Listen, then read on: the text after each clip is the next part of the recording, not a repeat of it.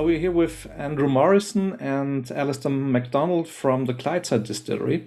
And there's a special reason for that, because it must be a very exciting day for you tomorrow, as you will release your first whiskey in less than 24 hours. But first of all, uh, before the whiskey, there's always a distillery. And let's talk about the distillery first. Uh, what was the actual reason for building Clydeside Distillery? Uh, it, it, was really uh, a couple of things. Um, AD Rattray, our sister company, which is predominantly an independent bottling uh, company, um, you know, we were um, growing the company, but realizing that stock replenishment was becoming harder and harder and harder. And, and you know, you start developing great relationships with importers and distributors, and, and you, you see the popularity of the brands and product increasing. But the challenge was always there. Okay, so that, we've sold this. How do we replenish it? The replenishment costs were going higher. It was getting scarcer. And um, having spoken to my dad, you know, all these efforts, we, we felt that we really needed to one day be in control of our own supply. Mm. Uh, for the for the longevity, uh, and also you know our family's got quite a strong heritage in the industry, so we felt that it would really the opportunity to take advantage of all that experience. And so distilling seemed getting back into distillation seemed like the the obvious next step. Obviously, it's quite a big next step. There's no kind of medium ground, so it, it was it was uh, something we thought long and hard about, but felt that it was something we needed to do to to protect our future in the industry. Okay, and talking about heritage, there's a nice story about uh, the place where you built the distillery in Glasgow and your family. So, uh, can you tell us about that?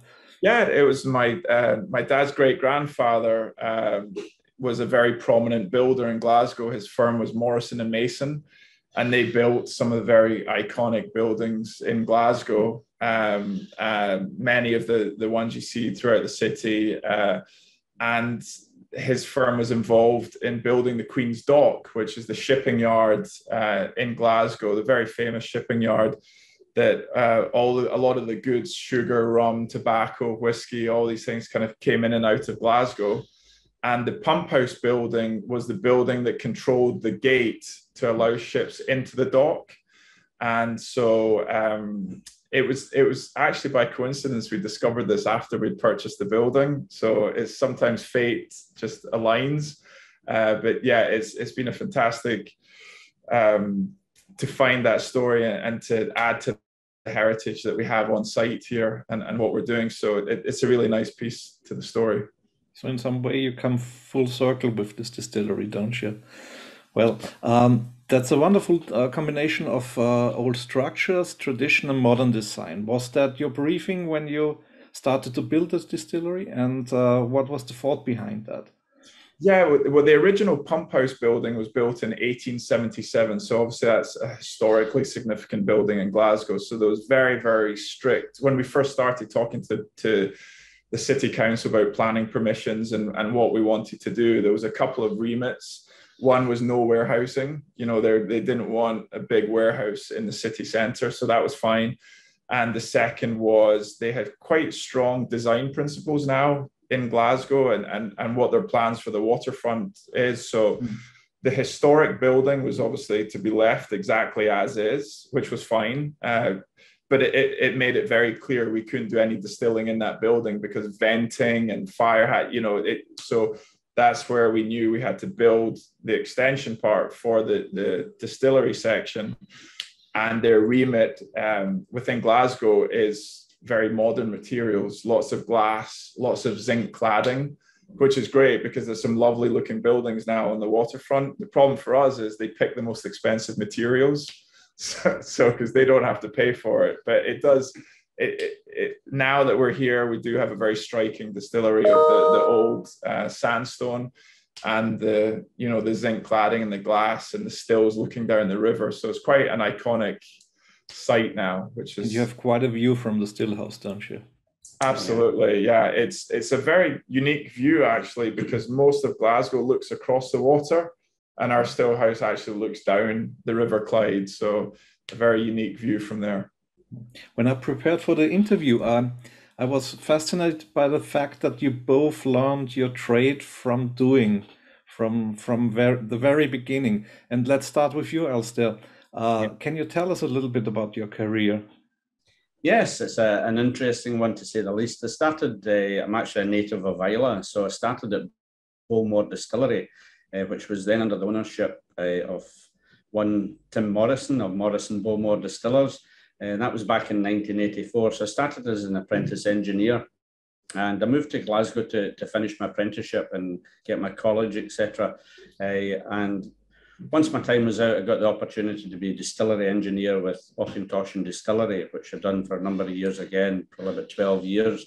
And then they reviewed our, our engineering, distilleries engineering post and created a role for a distilleries engineer. So I then got a week at Bowmore, a week at Glen Garioch, a week at Auchentoshan, and a week in head office, and uh, which gave me a kind of really good understanding of how different styles of distilleries worked, and you know different types, different Highland, Lowland, and Islay distilleries, and you know all the the challenges that came with the, the engineering side, the technical side, as well as production. So then in uh, 2011, I got the opportunity to move into production. It was always on my uh, appraisal in that career progression uh, section to say I would like to run engineering or be involved in production. So I got a call to see if I was interested in uh, a job in production in 2011, and that was to to manage Auchentoshan, so distillery manager at Auchentoshan, and uh, done that for six years, and then obviously the through these my time with Morrison Bowmore, it changed hands to to Suntory and then Beam Suntory, and there was a lot of changes going on and really good job, really good company to work for. But I've seen this shiny new pin in the horizon and made a couple of inquiries and and thought, you know, how nice it would be to be involved in a brand new distillery. And, and moving back with the Morrison family was a real strong pull as well, you know, because as much as, you know, it's a family feel business and it's back to being, you know, part of a, a small team that's, that's going to hopefully create a, a wonderful product that uh, as you'll see tomorrow, and uh, be able to give us some feedback on. So that that's the sort of kind of overview. Six years in production management at Auchentoshan before uh, moving along the, the river to here. So thoroughly enjoying it so far. Yeah. So, what is it that fascinates you in, in, in, the whiskey industry? Why did you stay in the industry for 30 years? Well, if I tell the truth, to be honest, uh, it was a route into engineering. I had no in, inkling in whiskey at age of 17. in fact, the smell of it at Bowmore kind of put me off. But as you come through the years, you know, the culture's changed, the, you know, the whole, I suppose uh, there's no lead patches on casks anymore as it used to be back then. But, you know, it's the, the whole, everything has improved from health and safety to, you know, product quality to, I would say, to more premium products. Mm-hmm. Uh, and, and really that, that for me, seeing the, the, the transformation from 1984 right through to the, the current day. And a lot of it, you know, has really improved since these days and, and being part of, you know, what I would say is a historic product, being in Glasgow, first distillery in over 100 years in the city to, to open up. a, you know, that excites me. You know, it's, it's all about, you know, putting out a product for Glaswegians to enjoy. Yeah. So, and what, what's the exact uh, respons- uh, responsibility you have here at the Clydeside Distillery? Can you tell yeah, well, I'm, yeah, I'm overall responsible for the you know the production, day to day production, the the bulk production of the new make spirit. Uh, you're involved in everything from a health and safety for a site, overall health and safety site. You're a responsible person. I uh, obviously the, the quality control, the analysis, and, and just basically running with a, a small team of good production operators. And uh, so, yeah, a, lot to keep us busy.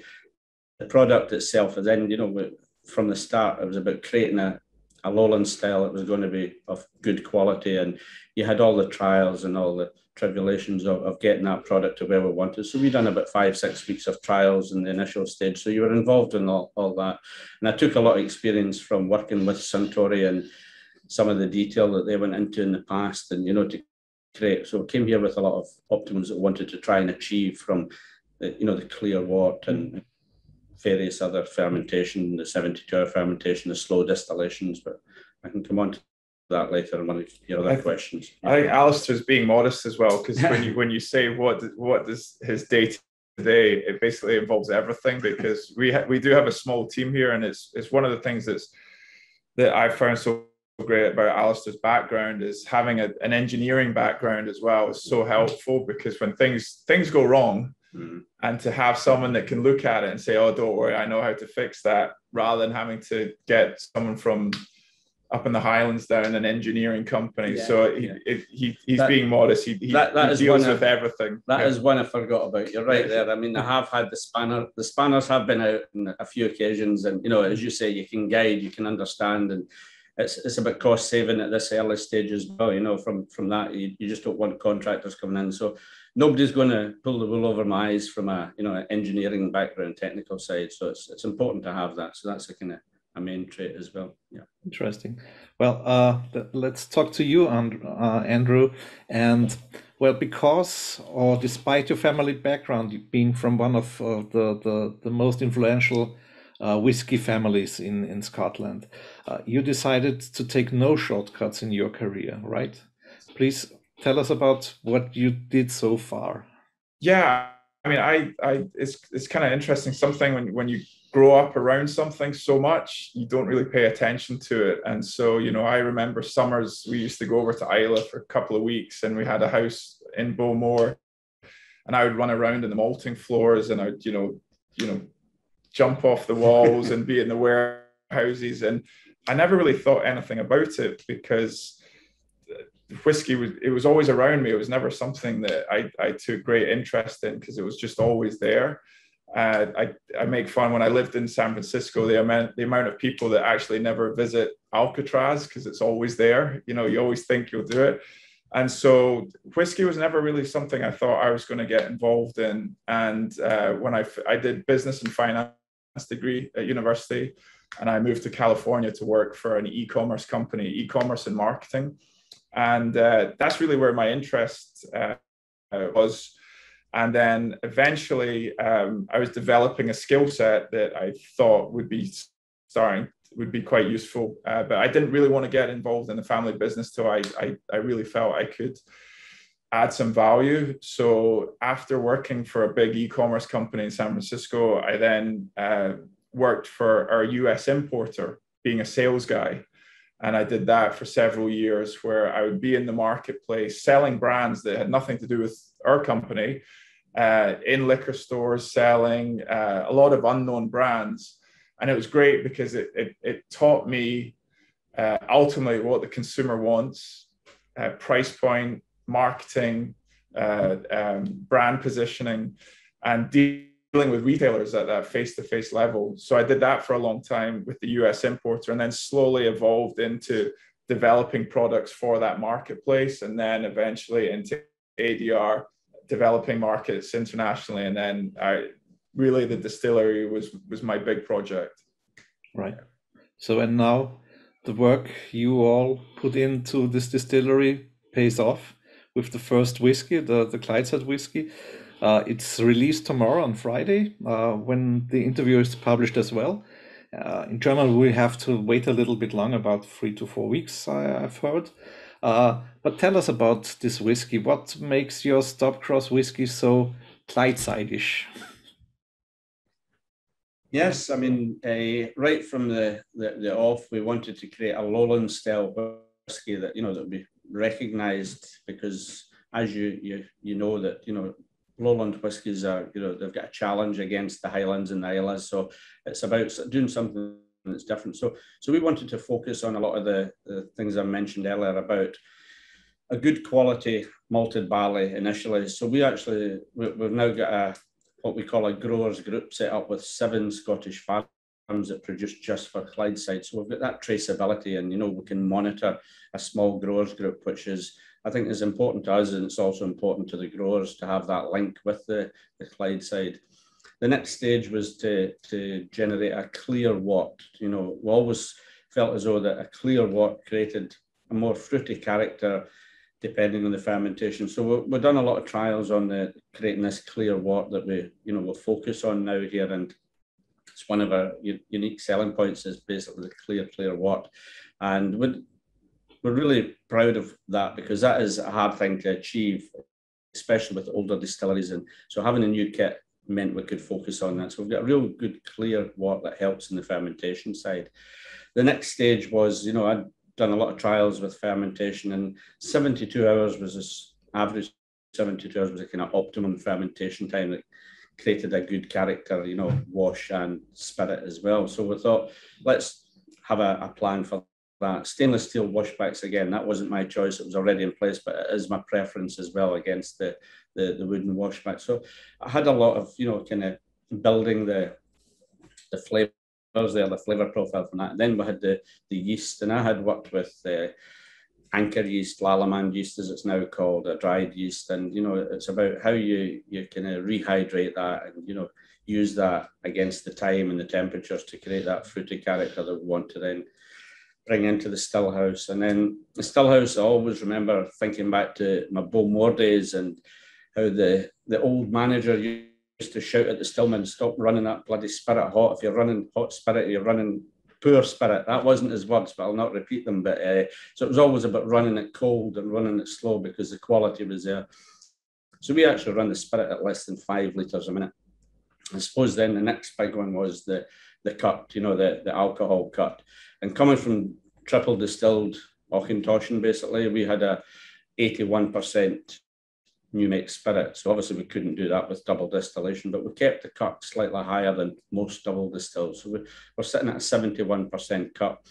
So it starts to run in about 76 and a half we, we cut it at 71, probably an average then about 72.5% alcohol that we feel as though is delicate, it's clean, there's no off notes, it's, you know, it's, it's not fainty, it's not oily, it's, it's fresh is what we would say. And, you know, a lot of the fruitier notes come, tend to come through on the, on the nose there. So we ran with that. And then I think the next thing is the, the wood policy is important. You know, there's no point going back to the 1984 days and lead patches on barrels and there's no point making a really good new make spirit and, and putting it into inferior wood. So I think it was all about getting a, a really good wood policy. And we've done that with the, the help of the late Dr. Jim Swan as well. So there was a, a wood policy in place that we, you know, just to make sure that we've got cover for for going forward. So we're we're working with that and I think the whole combination, right through from the you know the growers group right through to the, the wood quality, it all plays its part, and I, I think that's important for and, and consistency from now on. And you know, it's uh, it really is. It's, it's about keeping the, the new make character consistent. Yeah. yeah. You you especially mentioned uh, the, the the yeast, and yes. I think that's interesting because I always had the feeling that uh, Scottish distillers do not care a lot about yeast. Uh, brewers do, and Americans do, but you seem to care about yeast as well, right? Yes, I had been involved with a lot of trials previously before I came here and, and different types of yeast from liquid yeast to pressed yeast to dried yeast. And, you know, everybody has opinions on it, but there's different ways of working with the yeast and, and whether you rehydrate it, whether you pitch it straight or whether you, you know, you mix it beforehand and uh, dried yeast and, and there's different types of dried yeast. So we, we've stuck with the same one that I've known since the probably the early 90s that I first started using this particular yeast. And it really works well. Some people don't feel as though they get the, the real fruity character out of it, but I think what we're proving here is we're, we're managing to achieve that with fermentation times, set temperatures, and then, you know, just uh, keeping a close eye on, on the processes and the operators. So taste-wise, Stobcross will be fruity, lowlandish, uh, not peated in any respect. Uh, can you yeah. describe the taste a little bit more? Yeah. So for me, Stobcross is is a it's a lowland style. It is fruity. It's got a good bit of depth of character. It is also a marriage of both bourbon and sherry, so you're getting contrast and flavors there as well. Uh, a really long finish. I would say it's more of a kind of flavors are, are, are, still going on, but definitely a fruity character with some kind of peppery notes, kind of spiciness in the background as well. You know, so I kind of finish, but very interesting, and I'm sure Andrew's got some opinions on it as well and, and you know what he thinks it's it's definitely for me it's a typical it's, it's better than a typical Lowland I must admit and I'm going to say that anyway uh, but it's it re- we're really pleased with, with, it. And you mentioned peat, but I suppose yeah, you could you could we're good. I mean there is so I you know I think it should be I should mention that when when we started this whole project and sat down with Alice to say what we wanted to achieve we said listen spirit is first and foremost over everything else, and and that's you know it, it was appealing for us to do this in Glasgow because we think and we, we, we, before the pandemic happened, it's clear that the, the, there's a great opportunity here to really be a popular tourist destination as well. We and that was one of the reasons we did it. But obviously, our, our, our family heritage is in Glasgow, so it felt like we were coming home. But the danger was always being seen as a tourist attraction. And so I said to Alistair, absolutely number one objective over everything else is the quality of spirit. And you know, our, our capacity is just over half a million liters. So it's not like we were doing three million liters and pumping out two million of that towards a blend. It was all it was it was a very achievable goal of of creating the spirit that we wanted. And then when it came to the character, we said a typical Lowland, but with a bit more depth to it, with a bit of kick to it. And so, yeah, I think we're there. I mean, the, the Stobcross is almost four years old. Um, it probably would have been released earlier, you know, pre-pandemic, but because that was uh, people would visit our distillery and, and um, through no fault of theirs, they would just say, "So where can I buy your whiskey?" Like, well, we don't, and and you could see the disappointment on their face. So uh, it it it the, the first at three years would be more to have you know facilitated all the people visiting, but now to have an extra eight nine months in Woods has certainly helped this first release. So so mm-hmm. we're very happy about it and then we do do two weeks a year of of peated production. I see. Yeah, that's yeah, that's yeah. Uh, that we're looking forward to that with with the new make spirit. It was like walking into a distillery on Islay. Uh, the two weeks that we do it is an incredible change, uh, and we've went you know a, a heavily peated uh, spirit as well, which is looking really forward. So you've got that fruit, that sweetness, but you've also got a you know a, a heavy peat, and that'll be certainly one to watch out for in the coming years as well. So it's uh, looking forward to that. That sounds very interesting. And um, my next question is: uh, the first whiskey is always an important milestone, right? Uh, but for distillery, the, the, years after that, when the first hype uh, diminishes, this like a walk through a dry valley in some kind of way. So, what is planned to keep Clydeside in the spotlight and uh, in the interest of the whiskey community? I, I think one, so for instance, um, you know, being a family-owned business, we have the ability to play around with some stuff, and that's what else we kind of have fun with this yeah. now. Where the, the first two and a half years were always just it was always hurdles as far as opening the visitor center, production, or and now we're at the stage where we're actually doing some fun things where we're we're, we're trying some different woods, we're, we're, we're playing around with some stuff, and it's too early to tell where we're going to be with that. But being a small family business, we can play around with that stuff. So I think there'll be some interesting things down the road. But even just something like the Stobcross, that's going to be an evolving product. Mm. So the release next year will be different to what's coming on the shelf this year. The release the following year will be the it will all just be. I mean, it, it will be subtle, but it will be older. Maybe the percentage of sherry will change a little bit, and um, we, we're not looking for exact consistency at this stage in everything we're doing. We want people to be on this journey with us, uh, and then yeah, it'll be nice when we're at ten and we can say this is our standard 10 year old and it's going to be the same everywhere you go and the release is always going to be the same but up until that point, uh, we have a rough idea of what we're doing, but some of it's just kind of like, oh, I think that could be fun to do. Yeah. And, and so it, it's definitely evolving, but there will be a couple of core releases up until we get Summer Lake 10, but they'll be evolving for sure. So if I understand you correctly, there will be some kind of house style that would be the, the Clydeside distillery style, but you try to experiment, to try out things, to bring some diversity into your portfolio, right?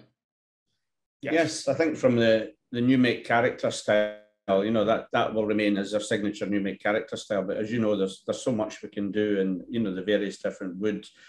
I I'm not sure the word experiment is one that I, I quite like to be honest, but you know that there are proven ways of, of doing different expressions, and you know the wood policy goes a long way. And yes, I totally appreciate that Stobcross will will change and, and we will have a signature malt after you know 10 years. But i think there's you know there, there's wine there's you know there's various different things we can do that we know that this spirit is going to work really well with. And it is exciting. As andrew mentioned it was all about consistency the first two and a half years to make sure we get that product where it is. I now we've got consistency with the new make spirit we can now move some casks around and have some finishes or you know have some marriages have some single cask release have cask strengths non-cask strengths you know there's just so many things. And i think it's uh, this week i think get it out there see what the consumers feedback is and then you know obviously look at the markets and, and see what's uh, that's open to us. I, I, mean one of our disadvantages is uh, it's an advantage and a disadvantage. You're a very very small team here and so we don't have the benefit of a marketing department coming up planning fights so a lot of it does kind of just we say oh something like this. And then in six months it'll be in the market and it'll be short and it will be so it, it, it's fun to do things like that without having to run it through three different yeah. levels of of the business to get approvals. So um, yeah we're, we're trying not to, to, obviously we take the the, the whiskey making uh, very seriously but we also um, don't feel like we're constrained in what we're doing and we're, we're going to play around with some stuff yeah I love how you call having no marketing team a disadvantage and an advantage at the, at the same time. So, Andrew yeah. Alistair, thank you for your time. It was a pleasure to talk to you. And uh, all the best for the future. I'm so much looking forward to the Stobcross when it comes to Germany. Hope to see you again and the next time in person in Glasgow. Absolutely. Yeah. Perfect. Thank you very much. It was a pleasure. Thank you. Thank you. Bye bye. Bye bye.